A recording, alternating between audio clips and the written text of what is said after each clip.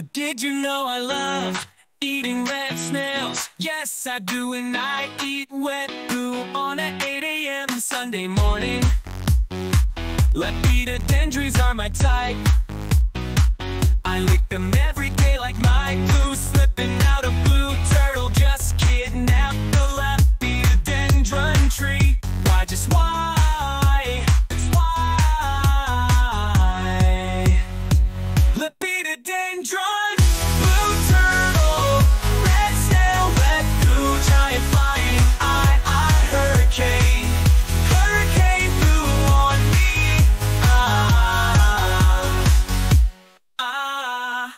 animal, kid and wild D F F D F F D F F F F F Cut me upside swag, make it look like it never happened. We were nothing. I don't need your proof. Can you, you hear me walking my pet fish in the lava? Yes, it's so juicy and squishy. The fish's name is Patek.